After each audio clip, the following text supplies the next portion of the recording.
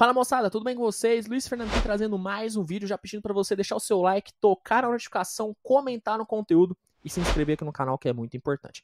Pessoal, a pré-temporada da NBA acabou, né? Já é passado agora. A gente vai focar na temporada regular, porém, a gente teve um time nessa pré-temporada que chamou muito a minha atenção e talvez subiu no meu conceito, tá? Subiu no meu conceito e subiu um pouco nas minhas projeções para essa próxima temporada, que é o Golden State Warriors. Cara, o Warriors terminou invicto essa pré-temporada, jogou demais todos os jogos. Teve alguns jogos, inclusive, onde o Warriors foi muito dominante e, na minha opinião, talvez o Warriors possa ser um time bem mais forte do que eu e você imaginávamos. Vou falar sobre o Golden State Warriors nesse vídeo, mas antes eu tenho um recadinho do NBA League Pass para você. O NBA League Pass está com uma parceria muito legal com o UOL, onde vai te oferecer 7 dias totalmente gratuitos da plataforma e ainda vai te oferecer um desconto totalmente especial no momento da assinatura. O NBA League Pass, caso você não conheça, é a melhor plataforma de streaming de jogos da NBA, cara. Lá você vê todos os jogos da liga sempre ao vivo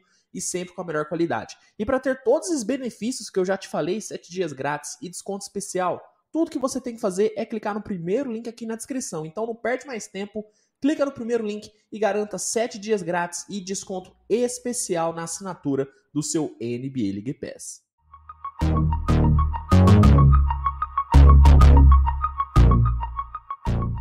Vamos lá, pessoal. Antes de começar a pré-temporada, olhando somente os jogadores que o Warriors tinha, eu não falaria que a equipe do Golden State seria concorrente a, a, a mando de quadra no Oeste, que seria um time para brigar com os grandes da conferência. Porém, depois de ver esse time jogar e ver as atuações e o nível de atuações que esse Golden State mostrou, eu não vou dizer que o Warriors se tornou favorito no Oeste, longe disso, mas o Golden State, cara, na minha opinião, pode vir a ser um time bem mais competitivo e bem mais forte do que eu imaginei. Eu imaginava o Golden State brigando pela sexta, sétima, oitava colocação na conferência. Mas, cara, eu não contava com o dedo do Steve Kerr, né? O Steve Kerr é um treinador que eu admito e eu sei que muita gente também fez a mesma coisa, foi um treinador que foi subestimado nesses últimos anos. Né? O Golden State não tinha um time competitivo e a gente não via um trabalho tão bom assim do Steve Kerr e a gente tinha a ilusão de que o Steve Kerr só conseguia treinar o Golden State quando tinha todo mundo à disposição, quando tinha um time forte. Porém, cara, olhando esse time nessa pré-temporada, a gente vê que o Steve Kerr é sim um baita de um treinador e consegue sim tirar leite de pedra, cara. O Golden State, se você for olhar por nomes, é um time que jogou com, com Stephen Curry, jogou com Draymond Green, é, jogou com Jordan Poole, é, mas nenhum jogador tão excepcional quanto o Stephen Curry, né? O Draymond Green talvez chegue o mais perto disso, mas nenhum jogador excepcional, não é um elenco excepcional. Mas o Steve Kerr conseguiu montar um ataque digno de time excepcional um ataque que movimenta muito rápido a bola, um ataque que consegue variar muito bem o jogo entre small ball e também um jogo um pouco mais de infiltração, e uma defesa forte, uma defesa sólida, uma defesa que rouba muita bola. O Steve Kerr conseguiu padronizar uma equipe que era, na teoria, bagunçada. Não tinha um padrão tático esse Golden State, era muito na mão do, do Stephen Curry. E o Steve Kerr, pelo menos nessa pré-temporada, e eu sei que é complicado analisar times em pré-temporada, que não dá para hypar, eu sempre falo isso, mas padronização tática a gente consegue sim analisar e consegue sim levar em consideração na pré-temporada, porque a gente tá vendo os caras jogar, né? Na temporada regular, não é possível que o time vai mudar totalmente do que jogou na pré-temporada. Então, acredito que na temporada regular a gente vai ver um ataque do Warriors parecido com o que a gente viu na pré-temporada. E esse ataque foi muito bom, cara. Gostei muito desse ataque, conseguindo não concentrar o jogo to totalmente no Stephen Curry, apesar de, obviamente, ele se sobressair na, na, pontuação, porque ele é o Stephen Curry, ele vai sobressair, mas o time é, se tornou um pouco independente do Curry, né? O time consegue achar outras opções e consegue variar a rotação. Essa rotação do, do Golden State, é, que para mim já era interessante, acabou se tornando um pouco mais interessante depois que eu vi eles em ação. Porque eu achei que o André Godala ele não estaria tão bem fisicamente como ele está. O André Godala tá muito bem fisicamente e tecnicamente ele continua um baita de um jogador, cara. Continua fazendo um papel de point forward muito bem feito e continua sendo defensor fora é, dos padrões, defensor muito bom. Outro cara que chamou muita atenção foi o Otto Porter Jr., tá? É, o Otto Porter é um cara bom, é um jogador que sempre foi consistente e continua sendo, entregando seus 15, 14 pontinhos por jogo.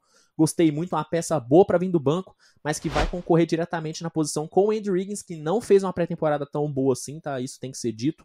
É, não sei se afetou um pouco toda a polêmica que ele passou da vacina, mas ele não jogou bem a pré-temporada e o Otto Porter jogou muito bem. É, então essa rotação, e obviamente, né, gente, tem que falar do Jordan Poole, né? baita pré-temporada que o Jordan Poole fez. Na minha opinião, ele foi o MVP dessa pré-temporada, foi o melhor jogador, apesar que o Kirby também finalizou muito bem, fazendo 40, 41 pontos contra o, o Blazers. Mas o Jordan Poole foi muito bom, cara. Eu não tinha expectativa nenhuma com o Jordan Poole e o cara realmente mostrou um basquete de alto nível. Tomara que ele consiga manter para essa próxima temporada, porque ele vai ser uma peça muito importante vinda do banco desse Golden State, né? Porque a gente tem que pensar que o banco do Golden State não é um banco pontuador, né? Vai ter o André Godala, vai ter o Kevin Looney, é, vai ter o Moses Murray, o Kuminga provavelmente vai vir do banco. E nenhum desses caras é um scorer nato, né? O Jordan Poole talvez pode ser esse líder em pontuação vindo do banco, um, um, uma espécie de Jordan Clarkson do Golden State Warriors. Se ele conseguir fazer seus 16, 17 pontinhos por jogo, algo que eu acho que ele vai conseguir, inclusive, Jordan Poole pode sim ser concorrente a sexto homem da temporada, viu? Eu descartaria ele totalmente antes de ver ele jogar na pré-temporada, mas agora vendo o nível que ele tá e a concentração que ele tá, um jogador focado, gostando muito do que eu vi, gostei muito do que eu vi dele, hoje eu já não acho um absurdo ele ser cotado a sexto homem, tá? Talvez até MIP. Talvez até Motion Improved Player, não seria uma surpresa tão grande sim, tão grande não. Apesar de que eu falei nas minhas previsões que o Jordan Poole não teria chance. Eu assumo isso, tá? Eu tô disposto a, se o Jordan Poole fazer uma baita na temporada, chegar aqui e falar que eu errei. Porque, pô, a maior burrice que tem é você é, não assumir que você errou e você não mudar de ideia. Tá? Só idiotas não mudam de ideia. E eu mudo de ideia sim. Se eu acho uma coisa antes de ver o cara jogar e depois que ele joga, ele me surpreende, eu vou vir aqui e falar. Eu não vou ficar aqui mantendo meu argumento falando que o cara não tem como evoluir. Seria burrice eu chegar aqui e falar que o Jordan Poole não vai evoluir. Pô, o cara jogou pra caramba pré-temporada, por que, que eu não vou me animar? Então o Jordan Poole foi uma peça muito boa, me surpreendeu e ele pode ser muito importante nessa, pré, nessa próxima temporada regular. É, o Golden State, cara, falando agora sobre o que eu espero, o que eu acredito que a gente vai ver do Golden State, é um ataque bem móvel, tá? É um ataque bem versátil. O Steve Kerr é, abusando muito do banco, colocando muito Belica para jogar em situações de small ball. Ele que fez também uma ótima pré-temporada. Então, cara, parece ser um ataque bem difícil de ser marcado. E tendo a individualidade do Stephen Curry, que promete jogar no mesmo nível que jogou no último ano, cara, esse ataque do Golden State pode ser um ataque bem difícil de ser marcado, viu? Ainda mais com a volta do Clay Thompson, dependendo do jeito que ele voltar, o nível que ele tiver, cara, esse ataque do Golden State pode ser muito difícil de ser marcado. E falando da defesa, cara, a defesa do Golden State também não pode ser descartada, porque é um time que tem defensores de elite no elenco né, cara? Tem o Draymond Green, que é um dos melhores defensores da liga, né? Com a volta do Clay Thompson, terá o Clay Thompson, que é um dos melhores também. Tem Jonathan Kuminga, que é um ótimo defensor, e Godala, que é um baita de um defensor. Otto Porter não é nenhum primor defensivo, mas ele sabe defender. É, com a volta do James Wiseman, também é um bom protetor de. Então, esse time do Golden State, cara, vendo o que o Steve Kerr conseguiu fazer e projetando que ele vai conseguir tirar ainda desse time, cara, é um time interessante. É um time bem competitivo. Gostei do que eu vi desse Golden State. E, na minha opinião, cara, é, acho que é um time que vai passar longe de play-in, tá? Com o elenco que tem e o basquete que tá jogando, novamente, novamente, cara, o elenco do Golden State não é um elenco para ser campeão. Quero deixar isso muito bem claro. Mas é um elenco melhor do que muitos achavam, do que eu próprio achei. Tá? Poderia ser melhor se o Golden State não tivesse dispensado o Avery Bradley. Tá? O Warriors dispensou o Avery Bradley, não entendi por quê. Dispensou o cara, acho que ele poderia ser uma peça importante, mas tudo bem. Mas é um elenco bom, tá? Pode ser um time para brigar sim no top 5. Principalmente porque o Clippers vai estar tá desfalcado do Kawhi. O Clippers não fez nenhum jogo absurdo nessa pré-temporada. Já o, o Warriors fez alguns. Fez dois jogos incríveis contra o Blazers. Fez dois jogos incríveis contra o Lakers. Fez um jogo bem duro contra o Denver Nuggets. Então, esse Warriors é um time pra gente ficar de olho. É um time melhor do que eu achei, é um time melhor do que muitos acharam, e é um time que, se deixar, que se der espaço, como a Conferência Oeste deu espaço para o Suns na última temporada, esse Warriors pode chegar. Ainda acho que é um time para a primeira rodada de playoff. Não vejo esse time passando da primeira rodada de playoff. Mas é um time que na temporada regular, se deixar chegar, é um time perigoso. Steve Kerr tá fazendo um ótimo trabalho com esse elenco. É um ataque muito bem treinado. É um ataque que tem muitas opções táticas. Não é um ataque poderosíssimo, como é o ataque, por exemplo, é, do Brooklyn, como é o ataque do Suns. Não é. Mas é um ataque bom. Que tendo o Stephen Curry no nível absurdo que eu acredito que ele vai ter nessa temporada, pode dar muito trabalho. Golden State é um time melhor do que eu achei. E uma coisa eu garanto o Warriors pode não, não competir por título, pode não competir por semifinal de conferência, mas pode competir para ser um dos times mais carismáticos dessa temporada, um dos times mais gostosos de ver jogar, porque é um basquete bom, é um basquete dinâmico, lembra um pouco aquele Golden State de 2015, né, que tinha uma movimentação de bola muito rápida e abusava na bola de três. Acredito que vai ser é, isso que vai acontecer com esse Golden State, principalmente enquanto o James Wiseman não voltar, que aí o Steve Kerr vai ter que jogar mais no small ball mesmo. Então, tô animado com esse Golden State. Se eu fosse torcedor do Warriors, eu estaria animado também.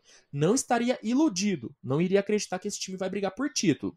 Não é para isso. É demais cobrar isso do Golden State mas é um time que promete jogar um basquete muito mais agradável do que jogou no último ano, onde era totalmente dependente do Stephen Curry. Steve Kerr fez um baita trabalho de pré-temporada.